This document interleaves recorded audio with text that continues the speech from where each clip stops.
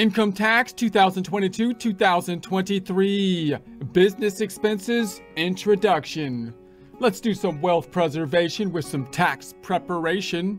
Support accounting instruction by clicking the link below, giving you a free month membership to all of the content on our website, broken out by category, further broken out by course. Each course then organized in a logical, reasonable fashion, making it much more easy to find what you need than can be done on a YouTube page. We also include added resources such as Excel practice problems, PDF files, and more like QuickBooks backup files when applicable. So once again, click the link below for a free month membership to our website and all the content on it.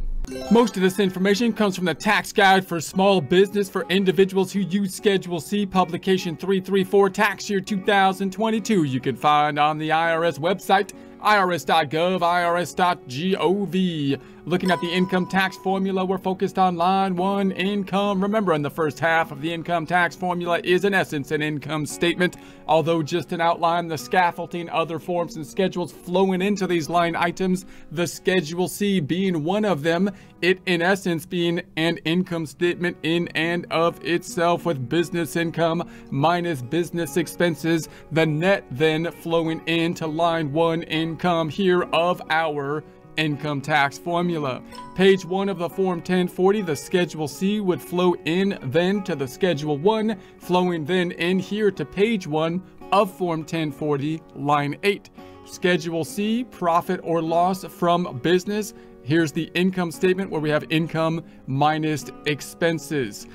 We're now looking at the expenses side of the Schedule C, which is in essence an income statement. We have the income minus the expenses. Now, although we're hoping that the income in total dollar amount is greater than the expenses in total dollar amount, the expenses are often more confusing because there's many more categories of expenses than income. And that's just the nature of the business generally, because when we're in business, what we're typically doing is trying to get really good, honing down, specializing our knowledge and skills on a particular item, all income then being categorized as that particular item typically.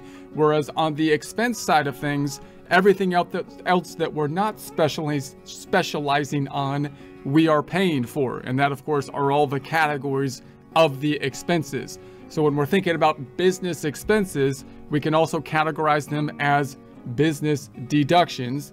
And when we think about the income statement in general, or income taxes, I should say in general, note and recall the general rule in an income tax system. We should be able to deduct those things that are necessary in order to generate the revenue. So we're not taxing people on gross income, but rather on the net income. And when we're thinking about people that don't have a business, they have W-2 income, that gets a little bit confusing because if you have W-2 income, the assumption by the government is that the employer is the one that's given you everything that is necessary in order to do the job. Therefore, we don't have those normal kind of what we would think of as like normal expenses for an income tax system. Instead, we focus on all the weird things, which is basically the government trying to influence us in certain ways. Influence us to save for retirement, influence us to buy a home, influence us to pay charity or give to charity. And I'm not saying these things are good or bad. I'm just saying the tax code is a tool to kind of manipulate our behavior. And that's where a lot of the expenses on the above the line deductions and the Schedule A deductions are. So, and it kind of shifts our focus to the normal, natural type of expenses, which are basically what we see on a Schedule C, because the expenses should be those things you would think that you had to consume in order to generate the revenue. So most of the time, the expenses, the business deductions on the Schedule C are more natural to what you would think of happening in an income tax type of system. Okay, so you can deduct the costs of operating your business. These costs are known as business expenses. These are costs you do not have to capitalize or include in the cost of goods sold, but can deduct in the current year. So when we're thinking about the expenses then, the, there's a matching principle, which is generally kind of an accrual type of principle. So we talked about in prior presentations a cash-based system versus an accrual-based system. But even if you're using a cash-based system, we still have this matching concept to some degree because if there's a substantial deviation from a cash-based system, they force us to do some accrual concept stuff. For example, if we purchase a large piece of equipment, even if we pay cash for it, we can't just deduct, you know, the $100,000 piece of equipment, but rather usually have to put it on the books as an asset and then use some kind of depreciation method, possibly still getting 100% of the depreciation if there's 179 or special depreciation. But the point is, the general idea is that we'd have to put it on the books as an asset and then allocate the expense. And that's a matching concept because we're trying to match out the consumption when we actually used the thing in order to generate the revenue in the same time period. So to be deductible, a business expense must be both ordinary and necessary. So those are the key terms, and the, from just a general standpoint, they mean what kind of you would expect them to mean, right? They're going to be ordinary and necessary type of business expenses. You needed those business expenses, in other words, in order to help you to generate the revenue. So an ordinary expense is one that is common and acceptable in your field of business. So if we were to take a look at the type of expenses that you have in your particular business, we would expect you would think to see similar expenses in other types of businesses. Obviously, when you get into certain or different businesses, then you can find some expenses where, where you would think that uh, if you were looking at them and you didn't know the industry, you would say that doesn't look like a business expense. That looks like, for example, personal. And one of the main things we need to do is be separating business from personal. But for example, if someone is a professional photographer, then they might be taking a lot of trips to very beautiful places where if you were sitting in a an IRS uh, tax office or IRS office looking at it saying this guy's traveling to the Bahamas or something, you might be saying, hey, that looks like a personal kind of thing. and it seems and it may be somewhat personal because obviously part of their business is is that's why they chose that business most likely right but it would be you would think a business expense because they're traveling there on in that case for the, the particular photography and so on but it, you can see where the line gets fuzzy between taking trips and stuff like that meals and those kind of things between personal and business and that's where things get a little bit a little bit uh, hazy so a necessary expense is one that is helpful and appropriate for your business. So an expense does not have to be indispensable to be considered necessary. So when you say necessary, like it's, it's like when someone says, I need this. And it's like, do you really need this? Like when someone says, I need that candy bar or something. Do you really need it? You know, because you could probably, so if you took it, the candy bar away, would you die? no so maybe you, so maybe it would be a good thing to have but maybe it's maybe you don't need it same thing for the business here obviously you could say if the argument or the benchmark to clear was if i took this this expense away would the business crumble to to pieces that's not that's not the the bar to clear. That would be a high bar. It's an expense does not have to be indispensable to be considered necessary. So that, that means that that necessary term is somewhat gray. so we're going to have to use some judgment on these terms as we think about ordinary and necessary. So for more information about the general rules for deducting business expenses, you can see chapter 1 of publication 535. Caution, if you have an expense that is partly for business and partly for personal, separate the personal part from the business part.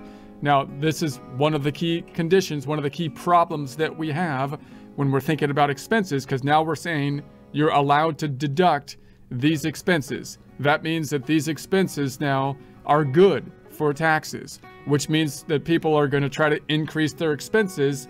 And, you know, you would think that they have an incentive, people have an incentive at least, to try to bloat, increase the expenses. How would they do that? It's not like they don't want to have an unprofitable business.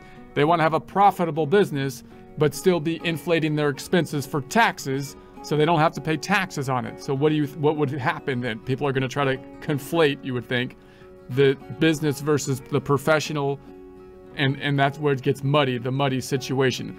So it's easy in concept to say that, you need to break out your business versus the professional. But when you get into specific items, it gets again it gets a little bit confusing when you're taking business trips. So we'll get into some of the details in a little bit a little bit more detail here. But that's of course what we want to watch out for. We want to try to separate as, much, as best we can the business versus the personal. If you're doing a trip somewhere that has business and personal stuff to it, you're supposed to uh, parse those things out so that you deduct only the business part because you don't get to deduct vacations because no one else no one else gets to deduct vacations. So it wouldn't be fair. So the personal part is not deductible. That's the point. Publication useful items you may want to see. You've got uh, 46, you got the publications uh, 463, travel, gift, and car expenses. Uh, publication 535, business expenses. So when we get into these items, you'll see that some expenses are, are pretty straightforward. If you paid if you paid for something directly for the business, you paid for supplies that are for the business, then that's a pretty straightforward type of thing. If you paid the utility bill for an office that's used exclusively for the business, if you're paying rent somewhere that's used, not a problem. But if you're thinking about things that could have a personal component to it, if you're using a home office, for example, and you're paying the utility bill that covers your home, your whole home, then it gets messy. How much do I get to deduct in there? If you're traveling that's clearly could be a messy situation in terms of is there any personal side to the travel? Is there business side and personal side? Are you mixing these things together? Are you mixing the personal and business together? Because then it become car obviously is a problem because you might be using the car for personal and business expenses. So those are some of the ones to drill down on. You've got the publication 535 business expenses to check out. The 647 publication, How to Depreciate Property. Depreciation is also another just messy situation. The idea being that you can't expense something in the year that you bought it if it's a large item because of this big timing difference between when you bought it and when you're going to get the consumption using the matching principle, trying to match the consumption when you used it to the same period that you generated the income. So then you have this depreciation concept, which is a standard accrual concept that you might understand conceptually from an accrual standpoint, but even once you do that, the tax code still messes that all up because then the tax law people come in and say, hey, look, we want to have accelerated depreciation or 179 depreciation to try to stimulate the economy. So now you've got depreciation schedules that don't mirror what you would think they would from an accounting standpoint because they have, again, other incentives in place. They're trying to stimulate people's behavior or adjust people's behavior through the tax code. And so they mess up all the depreciation schedules to make them all weird and not make any sense from an accounting standpoint. And we have to deal with that being different, possibly, than the booking depreciation, which we do want to make sense unless we want to keep our books on a tax basis so it's easier. So these are questions that come up on the expense side, which we may dive into. So in any case, see chapter 12 for information about, about getting publications and forms. You can check out the IRS website if you want to look at these in more detail, and we'll dive into some of these topics in future presentations.